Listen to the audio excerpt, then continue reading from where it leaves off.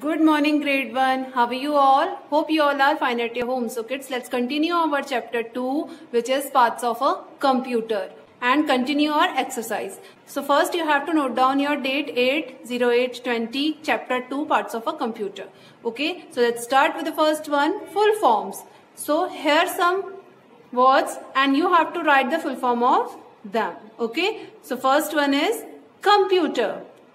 Okay, the full form of computer is commonly operated machine particular used technical educational research. Okay, so you have to learn the full form of computer. Then CPU. CPU is the brain of computer, है ना आपको पता है आपने पढ़ा है So the full form of CPU is Central Processing Unit. Okay. Next TV. TV. The full form of TV is television. Okay.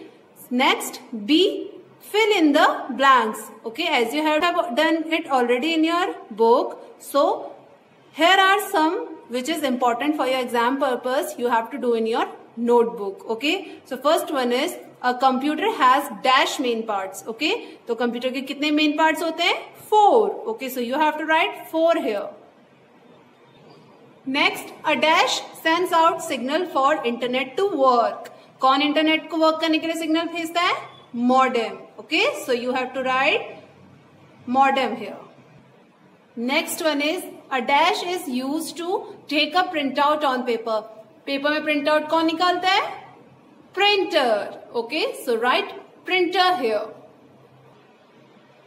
so kids this way you have to do your work in your notebook and learn these points because it is very important for your exam purpose. Okay, so do it well. Thank you. Bye-bye.